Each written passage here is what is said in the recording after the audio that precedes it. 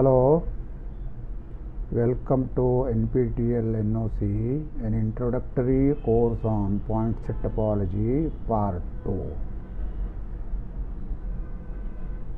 Today we will have the last section on the dimension theory. Module 44 Local separation to global separation. Recall that our study of dimension theory began actually in the previous chapter with a discussion of separation properties which we have named S0 to S3 keeping in mind that we are going to restrict the class of topological spaces for those which are separable and metrizable and in particular T1 we have pointed out earlier that S1, S2 and S3 are some stronger forms of Hausdorffness, regularity and normality respectively. We may call this itself the first step in the passage from local to global. Moreover, the passage from Si to S3, S1 to S3, there is one S2 in between, itself can be viewed as a passage from atom to mass, atomic to aggregate, or whatever you want to say, minuscule to largerness, and so on. A kind of local to global. That's also you can say is the passage from local to global. Recall that one of the first few results that we proved in the previous chapter is that Lindelof plus S2 implies S3. So that made S2 our central object of study. Next, in this chapter, we adopted S2 to represent zero dimensionality and then inductively obtained its higher dimensional versions to define higher dimension manifolds. Then came the theorem 9.13 and 9.15 which you may term as another step toward globalization. Let me just show you these steps. This was the theorem if you have subspace of metrizable space, separable metrizable space, then x has dimension less than or equal to n if and only if given any closed subset C of x and a point outside, there is a closed subset D of x such that dimension of D is less than or equal to n minus 1 and x minus D is equal to A separated B. A and B are both open and closed subset disjoint with P inside A and C inside B. So, we have pointed out that in the case of n equal to 0, dimension of D is minus 1 means D is empty set. This is precisely the condition S2. Right.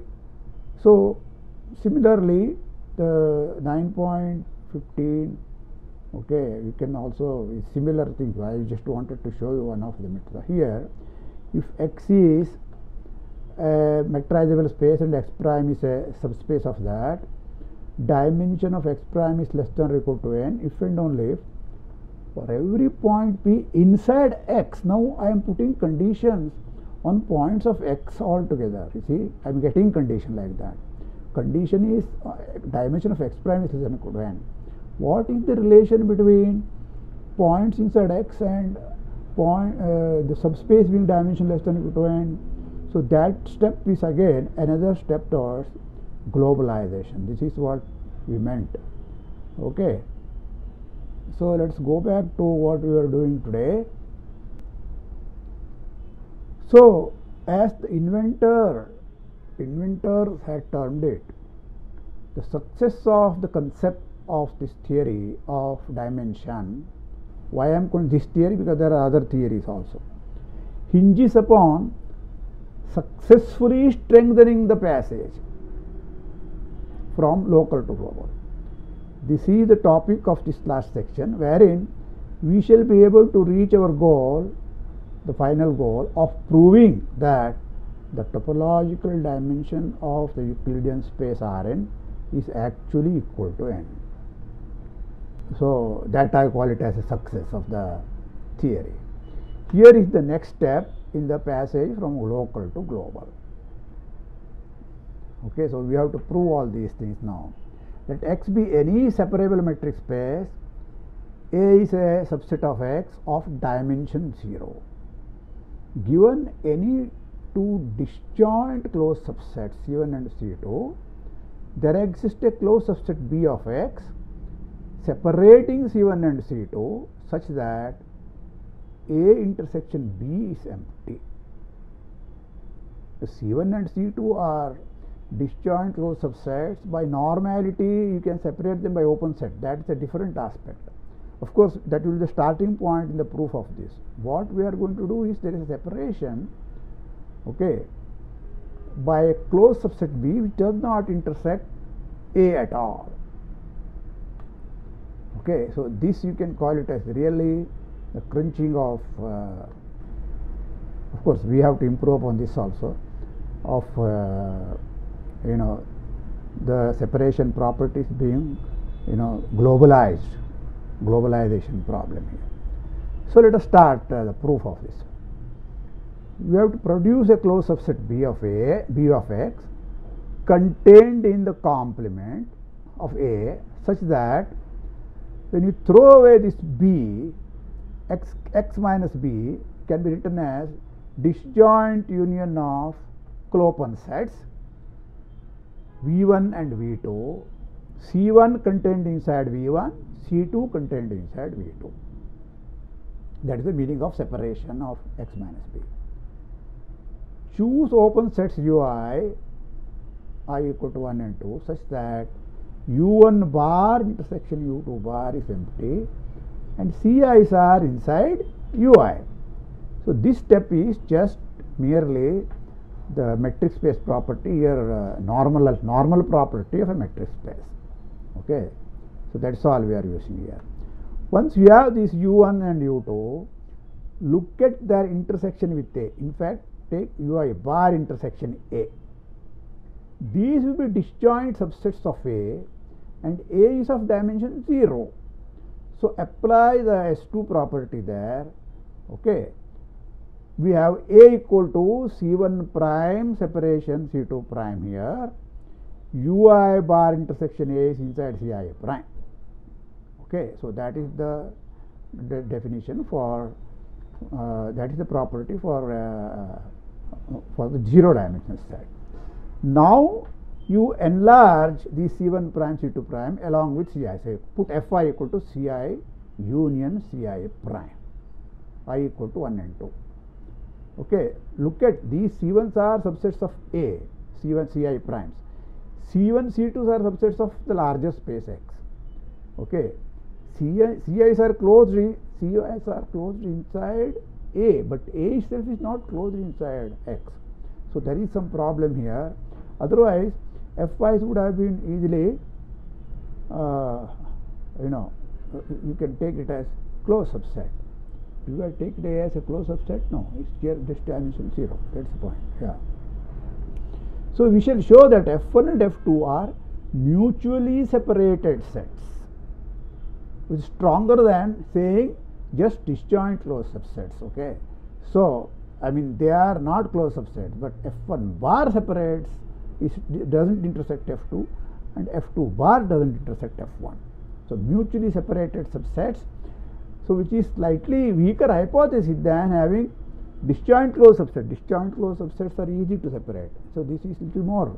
So, for here we will need more than normality namely complete normality. Wait a minute. So, let us have this one now. How to prove that this one namely F1 bar intersection F2 is empty. Indeed, once you prove this one, the other one is symmetrical. All these things are conditions are symmetrical in the other one. So, that will also prove exactly same way. Okay. So, once you have that, use complete normality of the metric space, it follows that we get open subset W in X such that F1 is inside W and closure of W does not intersect F2 which is same thing as having disjoint closed subsets and so on okay? This this way it is easier to state. F1 contained inside W closure of W does not intersect F2 you can then take B as the boundary of W automatically boundary of W is closed. So this B is a closed subset which will separate F1 and F2 because F1 will be contained inside W doesn't intersect uh, B. F2 doesn't intersect B because it doesn't intersect W bar at all. So F1 and F2 are inside F1 if you take W union complement of W bar that will be precisely equal to the whole X minus boundary of W namely X minus B okay. So moreover if you look yeah that's what I have showed B intersection A okay is empty because why? I just uh, why this is uh, this I have not yet shown. What I have shown F1 and F2 are disjoint from W moreover we want to ensure that B intersection A is empty. But B intersection A B is boundary of W.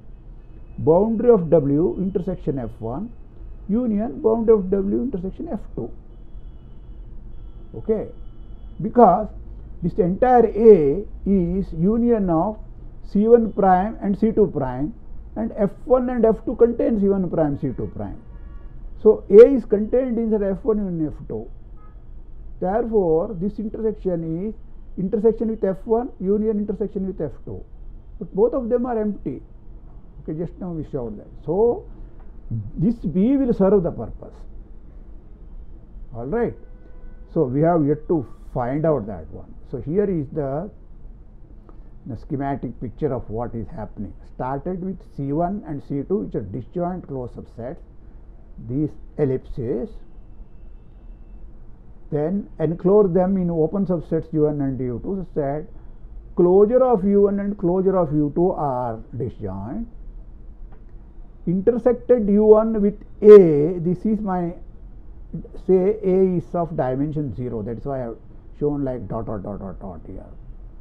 Okay. Intersect that with A1 so that you get some subset here like this. Okay. Up to U1 here. Similarly from here to here.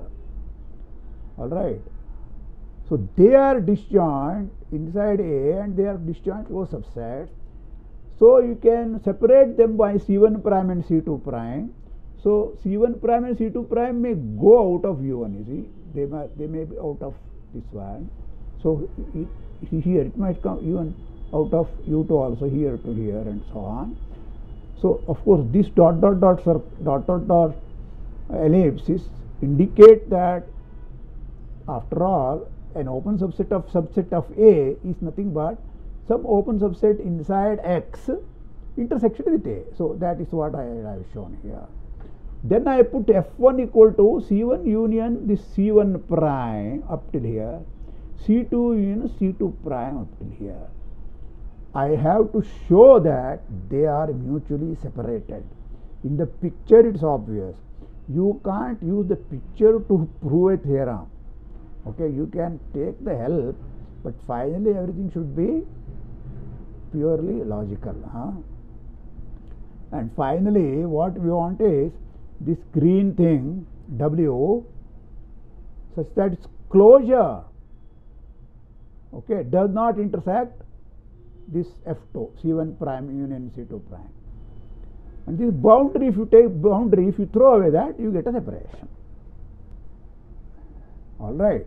So let us prove first of all that these two namely C1 union C1 prime, C2 union C2 prime, they are disjoint and mutually separated is what I have shown of shown. So let us do that. So it remains to prove 31. 31 is that this F1 bar intersection F2 is empty. Okay, the other one is similar. So by symmetry, it's enough to prove that F1 bar intersection F2 is empty. First of all, F1 bar, F1 itself is C1 union C1 prime. Therefore, F1 bar, bar denotes now everything denotes happening inside X. Okay, closures are inside the whole space X. F1 bar is C1 bar union C, C1 prime bar because it's just a union of you know finite union. But C1 is already closed, so it is C1 union C1 prime bar. Therefore, it is enough to check that C1 intersection F2, okay, this is C1 intersection F2, and C1 prime intersection F2, they are empty. Then F1 bar intersection F2 will be empty. So, this is the first step. I have to show these two things now. Just to show one of them, I have to show these two things, okay. So, let us see. Now, C1 is inside U1 by the very choice U1. U1 is an open subset containing C1. Hence, C1 intersection A is U, contained in U1 intersection A, contained in U1 bar intersection A, but U1 bar intersection A is C1 prime. Okay, and hence C1 intersection C2 prime is contained inside C1 prime intersection C2 prime. Okay, just now C1 intersection A is already in C1 prime. C1 intersection C2, C2 prime is inside subset of A, so I can take intersection with uh, A itself. So that is contained in C1 prime intersection C2 prime and that is empty to begin with. Okay, so instead of C1 intersection F2, I have looked at C1 intersection uh, C2 F2 has two two parts, right? What is C2 and C2 prime? The C2 prime okay? So c1 intersection what we have here? C1 intersection uh, f2 will be c1 intersection. C2 which is empty c1 intersection c2 prime. Okay? So this intersection is now c1 intersection c2 prime now what what is happening to this one so C1 intersection C2 prime is again A intersection C1 intersection C2 prime, everything happens in C2 prime. A intersection U1 bar intersection C2 prime because A, C1 is contained inside U1 bar. Okay. So, but that is contained in C1 prime intersection U prime, so that is empty. Okay. So, I am more or less repeating this one here. Alright. Next, to show that C1 prime intersection F2 is empty. Okay. So, how do you show? There are two parts. F1 bar has two parts, right? One we one we showed. The second part is this one now. This one we have to show. For each x belonging to F2, we shall produce a neighborhood of x which does not meet C1 prime. Then it follows that that point is not in the closure of C1 prime because the whole neighborhood doesn't intersect that. If x is inside C2, there are two point, uh, parts to F2. One is C2 and another is C2 prime. If it's C2, you can just take V equal to whole of this U2. For all the points inside C2, take just V because V which is equal to U2 here is contains the whole of C2. Okay, and then U2 is not uh, intersection uh, intersection uh, uh, C1 prime is empty, right? So, U2 intersection A, which is contained inside U2 bar intersection A, that is contained inside C2 prime, and hence U2 intersection C1 prime is U2 intersection A intersection C1 prime, which is contained in C2 prime intersection C1 prime, that is empty. So, method is the same, but argument are something different that part takes one part. If x is in C2 prime, then what do I do? But C2 prime is an open subset of A. It's actually clopen subset, right? Because separation. Okay, C2 prime is also open inside A. So we get an open set V. This time it's a different uh, V I have to choose. Okay, so this V is inside X open such that V intersection A is this C2 prime open subset of A. then what happens? V intersection C1 prime is V intersection A intersection C1 prime that is C2 prime intersection C1 prime. Okay, that's contained inside that one. So that is also again. So separately we have shown that C1 prime intersection F2 as well as C1 intersection F2 are empty. It just means that F1 bar intersection F2 is empty. Similarly, F1 intersection F2 bar is also empty and that completes the proof. Now we can state a more uh, pliable statement and easy to remember statement. Start with any separable metric space. Take a subset of dimension less than or equal to n, where n itself is finite. Of course, I assume bigger than equal to 0 because if A is empty, there is no statement. Those things we have seen already. So, given any two disjoint closed subsets C1 and C2 inside X, there exists a closed subset B of X separating C1 and C2 such that the subset A intersection B okay, has dimension less than equal to n minus 1. Okay. So, from 0 dimension we have come to arbitrary dimension here now. Okay. So, how do you do that? Of course, X is a metric space. There exist open subsets U1, U2 such that CIs are inside UI, i equal to 1 and 2 and intersection U1, U2 is empty. This is normality because C1 and C2 are disjoint closed subsets. Now, suppose n is 0, this n is between 0 and infinity, right? So, n is 0, there are two cases to be handled. If A is empty, in which case we can take B equal to U1 union U2 complement, that is a closed subset and uh, X minus B is just disjoint union of U1 and U2 over. Okay, that is what when, uh, when this is uh, 0. Otherwise, dimension of A is 0, it cannot be minus 1, okay. In which case, the first earlier lemma which we did just now, that will give you the required result. So, we have the inductive hypothesis here. Now, suppose n is bigger than 0. Using a previous corollary, we can write A as union of two subsets D and E where dimension of D is less than equal to n minus 1 and dimension of E is less than equal to 0. This is one of the sum theorem that we have derived last time right. Now, you use the above lemma to give a closed subset B huh, which separates C1 and C2 such that B intersection E is empty. I do not know what is happening to D, we will come to that later, but E part is empty that is the, the starting point with uh, n equal to 0. But then this implies if you take A intersection B that will be now contained inside D, but D is of dimension n minus 1 less than to n minus 1. So, intersection of uh, A, A intersection B is also of dimension less than to n minus 1. Okay. So, this after hard work of lemma this comes quite easily by of course I have to use this crucial thing here namely anything which is of dimension n can be written as union of two subsets one is dimension minus 1 another one is 0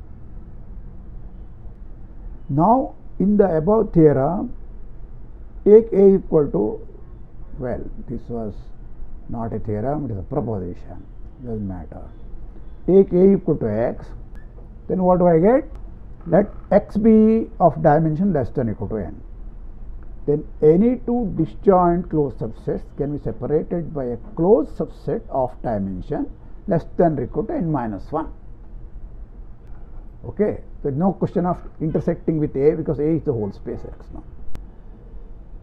Now we want to improve upon that one. let x be of dimension less than or equal to n and c1 c2 c3 and similarly this c1 prime c2 prime c3 prime etc pairwise disjoint closed subset ci intersection ci prime is empty that is the meaning of that how many are there? N plus 1 this dimension or equal n there are n plus 1 pairs of disjoint closed subsets then there exists a closed subset bi there exists closed subsets bi how many? N plus 1 of them such that each bi separates ci and ci prime and intersection of bi i range from 1 to n plus 1 is empty. All right? So how do you get this one? This is also easy. From previous theorem apply to C1 and C1 prime, you get a closed set B1 which separates C1 and C1 prime such that dimension of B1 is less than or equal to n minus 1. Now use the proposition or the theorem, we get a closed subset of, of X again, subset B2 separating C2 and C2 prime such that when you intersect it with B1, its dimension is less to n minus 2 because you already n minus 1 dimension. Now you keep on doing this, you know, repeat this step, get a B3 such that it separates C3 and C3 prime with dimension of B1 intersection B2 intersection B3 equal n minus 3. How far you can go till you hit minus 1 and that is empty set.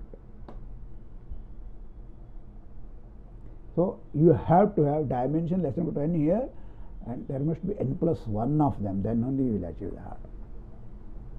Alright. Now we are very close to the end here. Okay. The rectangle or rectangular box minus 1 to plus 1 interval raised to n contained inside Rn. Okay.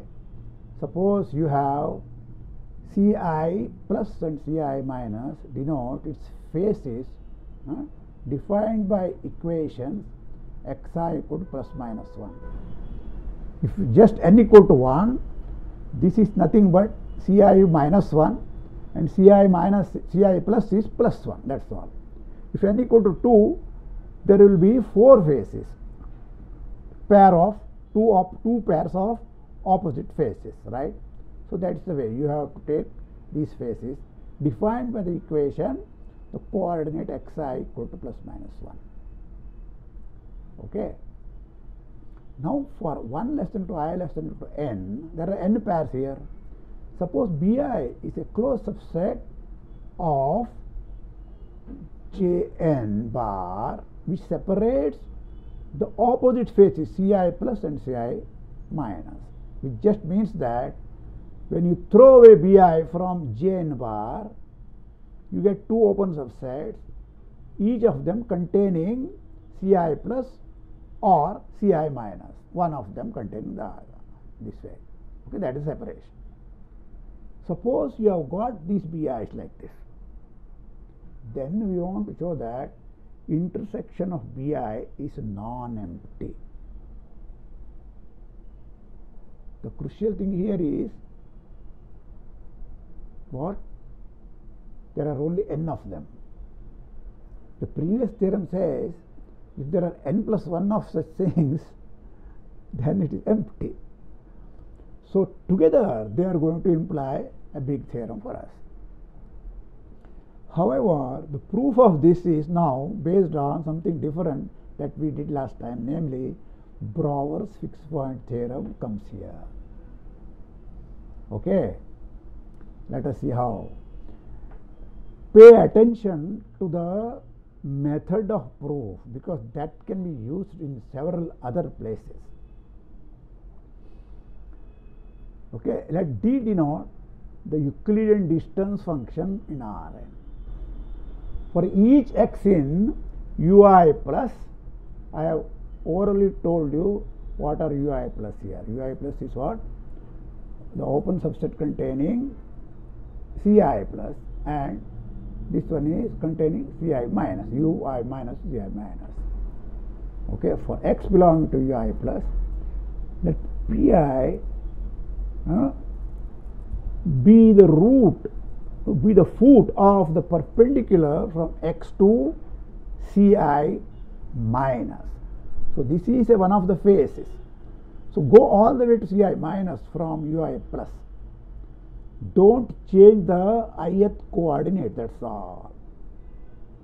The pi and x have the same ith coordinate. It's the foot of the perpendicular from x to this plane. Then, this is an elementary observation. Distance between x and bi. bi is a subset which separates the two things, right? It's less than or equal to distance between x and pi. And this distance is actually equal to distance between x and ci minus. Why? Because pi is the foot of the perpendicular. And what is this distance? It is just 1 plus the ith coordinate of x. Okay. Similarly, so what I have proved by this one is distance between x and bi is 1 plus xi. Distance between you know x and bi is less than or equal to 1 minus xi for every x inside ui minus this is for ui plus and this is for ui minus. It's very easy to remember. Let me justify this one with a small picture here n equal to 2. Okay.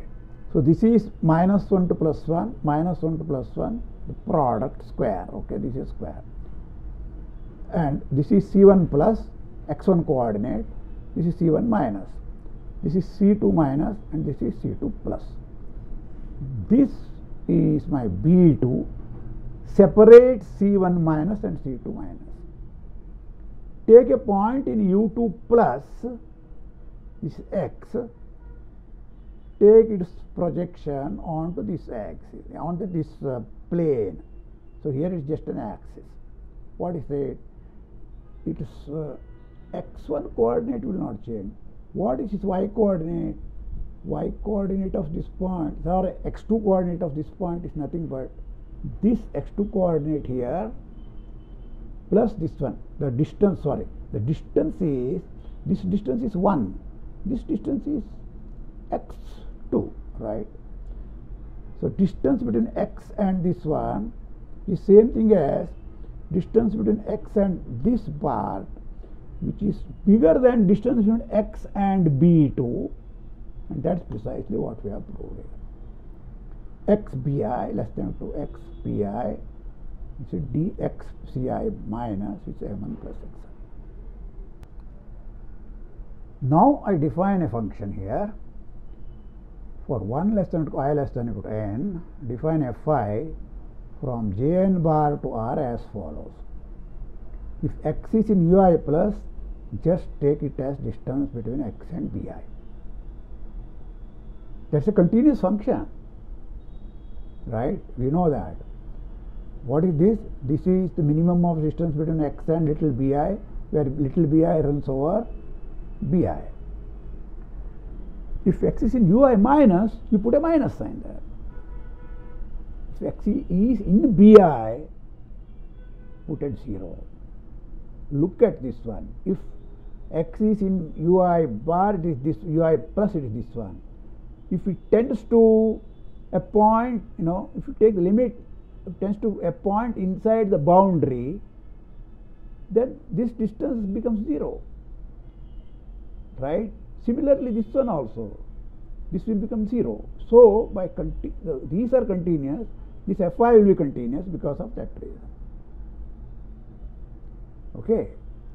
Now, you combine these two inequations here, inequalities, what you conclude is that minus 1 is always less than equal to xi minus fi of x is always less than or equal to 1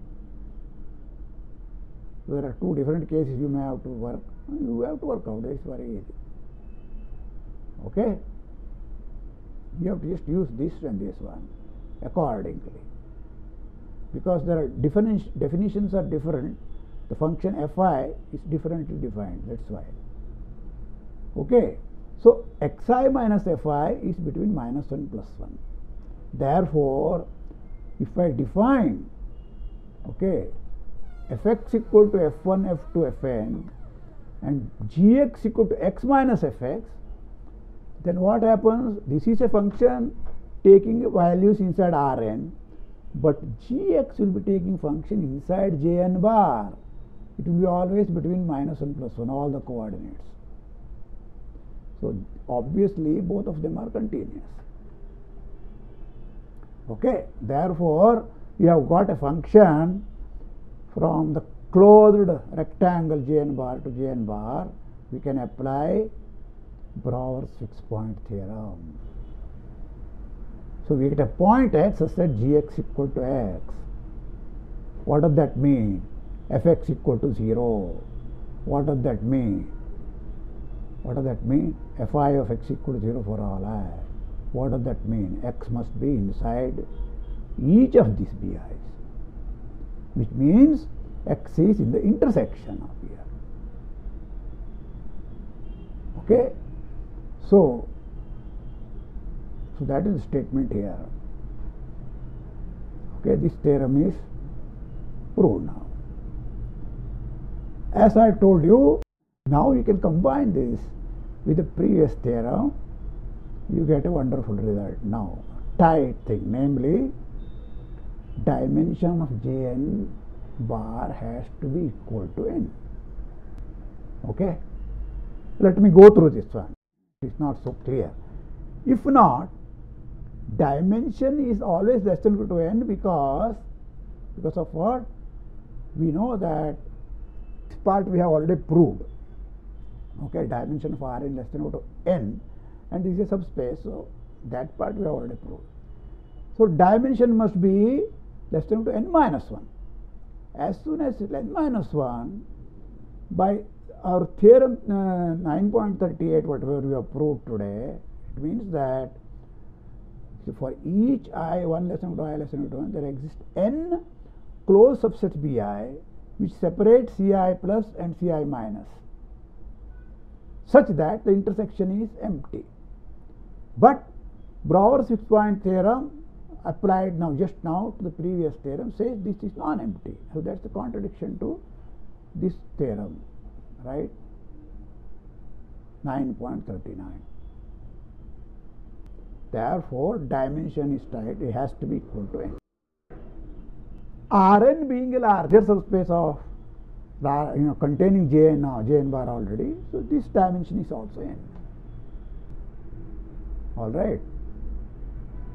So we have proved that not only this one, you can you can take now any open subset, any take any open subset which is homeomorphic to some uh, dn, gn bar and so on contains something etc. Right? Any open subset will contain some some copy of this one. Therefore, all open subsets will be of dimension n inside Rn all non-empty open subsets of course. So here is a remark topological dimension whatever you have defined okay is invariant for the class of separable metrizable spaces. We have not defined it for arbitrary spaces that is one point you have to remember. Thus we may also conclude that you know the Brouwer's invariance of domain which is a weaker form of this one weaker form of um, BID so I am go going to give that. Namely Rn and Rm if n is not equal to m cannot be homeomorphic. Because we have just shown that dimension of Rn is n dimension of Rm is m but dimension is a homeomorphism invariant Okay, this is weaker form of Brouwer's invariance domain. Of course, the the real uh, uh, Brouwer's invariance of domain is the following, which is uh, which is a, which is a stronger form of this one, namely, take any two non-empty open non-empty subsets of Rn. Suppose they are homeomorphic. Then, if one of them is open, the other one is also open. And that is why the name invariance of domain. The word domain was used more often than just open subsets in the older days. So being open is the same thing as being a domain. And that is an invariance so that is why it's called invariance of domain theorem okay unfortunately we are not able to touch this one. So, we have come very close, but there is still a big uh, gap here. Okay. So, the proof of this will take us much deeper into dimension theory, which is beyond the scope of this course. The original proof due to Brouwer uses another topological dimension theory, namely Lebesgue covering dimension. In modern times, it is fashionable to prove this using homology theory. So, there are many proofs of this one, this great theorem. For a proof using only simplicial approximation, which is actually uh, part of it is there in Hurewicz-Wallman implicitly, you may see my book. So, here is a easy exercise for you. Deduce 9.42 from 9.43. Namely, this I said is a this stronger form I said. Why? So prove you assume this and prove this one. Okay, we have proved it using the whole thing, using the all our uh, you know first uh, two two different chapters that we have studied so carefully. But assuming this, you prove this one, that is your exercise. Okay? All right. So, next time we will start a new topic. Thank you.